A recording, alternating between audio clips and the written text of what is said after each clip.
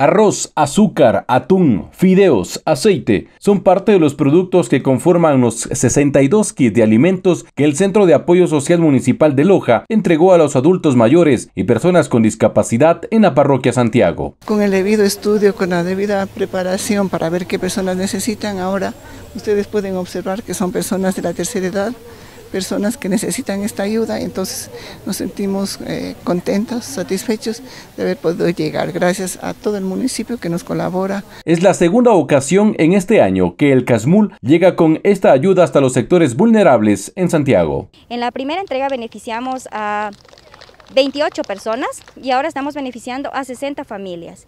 Se ha traído este día un kit alimenticio muy importante que consta de una roba de arroz y productos de primera necesidad, como son fideos, sal, atunes, papel higiénico, que nos va a servir de mucha ayuda en nuestros hogares en este momento. Manteniendo cada uno de los protocolos de bioseguridad, las autoridades les entregaron estos kits alimenticios, donde además les brindan un seguimiento de ayuda integral, tomando en cuenta que son sectores vulnerables. Los padres nos están ayudando por Navidad y por la edad que tenemos, que Dios le pague y Diosito les ha de dar más.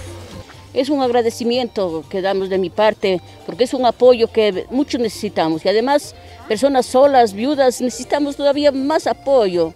Les agradecemos hartísimo por lo que nos dan. Muchísimas gracias por toda la ayuda, por todo lo que nos han, este, están ayudando siempre y hoy especialmente por entregar a las personas vulnerables, a los de la tercera edad, esos kits alimenticios que les van a servir muchísimo. La ayuda es canalizada a través de un estudio socioeconómico para identificar a las personas que más lo necesitan y poder llegar con esta entrega. Además, dentro de la programación, en los próximos días se visitará la parroquia Jimbilla y en Loja a las personas privadas de la libertad que se encuentran ubicadas en el pabellón Santa Marta del centro de reclusión.